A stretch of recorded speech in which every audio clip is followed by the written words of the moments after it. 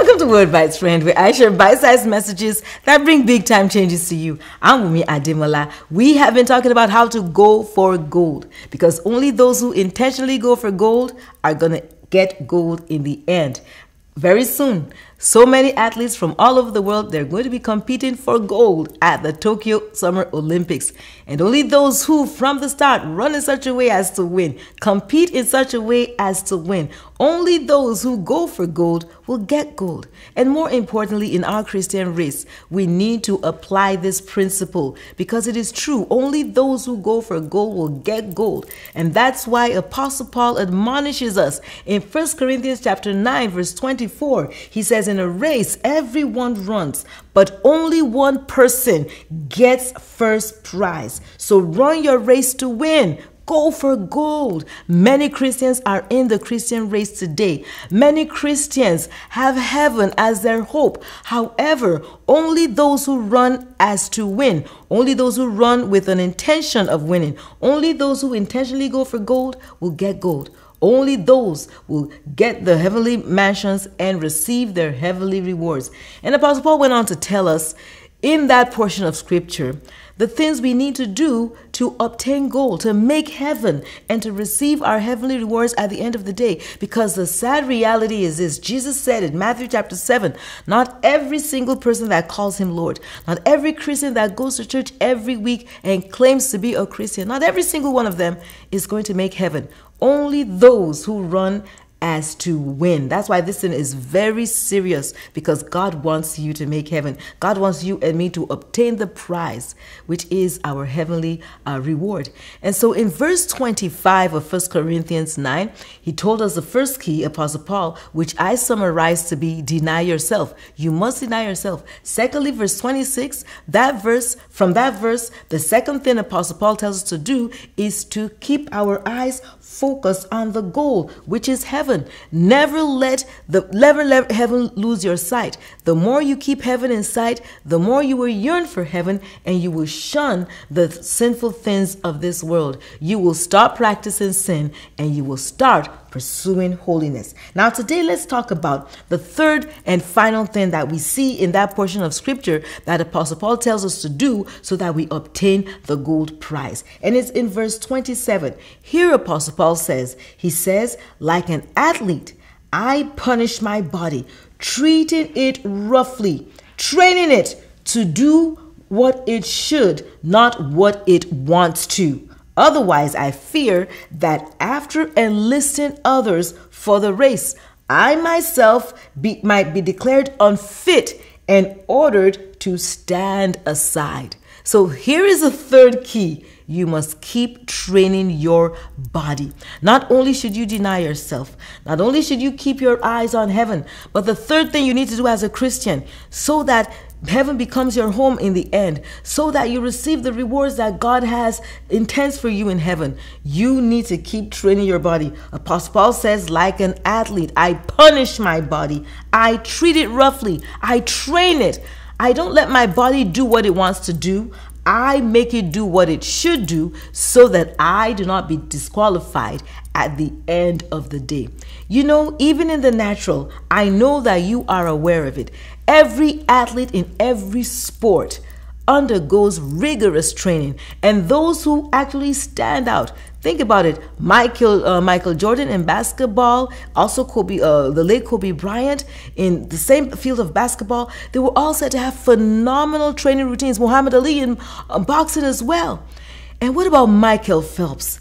He is the most decorated, I mean, he is said to be the most decorated Olympian of all time with 28 medals to his credit, and also the most person to, the person to have received the most gold medals. Michael Phelps has a phenomenal training schedule. He swims a minimum of 50 miles per week. He trains about five to six hours every single day, six days a week. And without a doubt, his training has everything to do with his phenomenal success. His rigorous training has everything to do with being uh, awarded 28 medals, the most decorated Olympian of all time. and receiving the most number of gold medals. It just doesn't happen by accident. How much more as a Christian? We need to undergo rigorous training if you do want to receive the gold at the end of the day.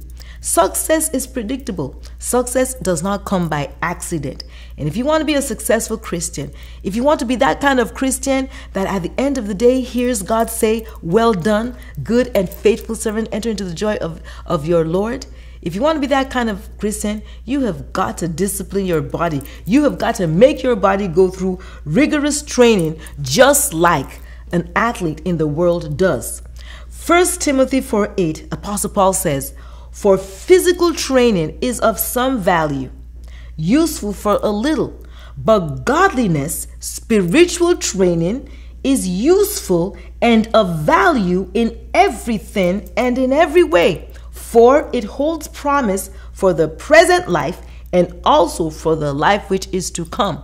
So when you give into spiritual training, it's going to benefit you even more than physical training because the blessings and the rewards of spiritual training, you're going to experience it right on earth as well as in heaven. I tell you, swimming 50 miles a week is not going to count anything for eternity. It's going to count for the earth, but not for eternity. And so it has its limits. But spiritual training is going to count for the earth as well as eternity. It is what's going to get you into your heavenly mansion and it's what's going to make you receive your heavenly rewards. Yes, we are saved by grace.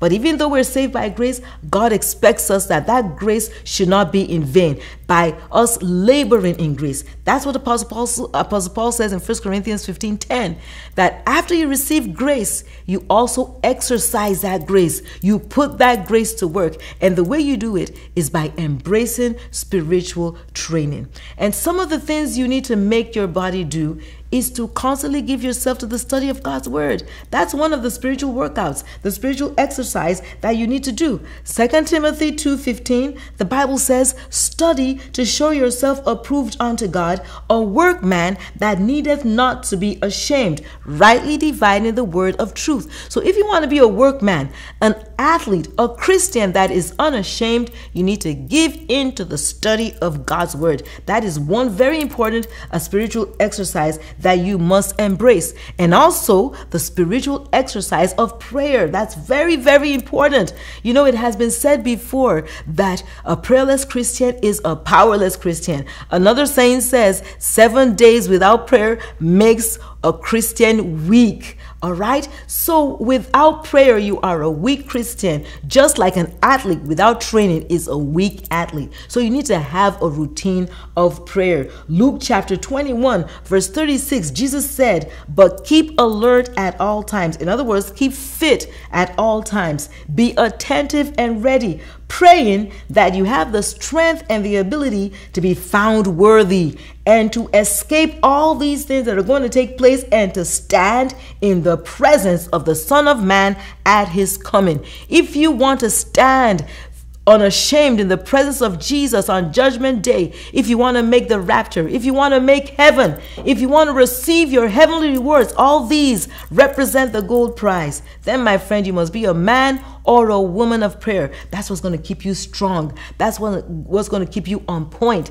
That's what's going to keep you uh, to be that athlete that is fit and that makes it to the finish line. So these spiritual uh, exercises are going to keep you fit. Never forget, my friend, that at the end of the day, what really matters is making heaven and receiving your heavenly rewards. Jesus said, what does it profit somebody if he gains the whole world, all the Olympic medals, all the gold medals, whatever success you gain is pointless if you lose out on heaven. So don't lose out on heaven. Give into training.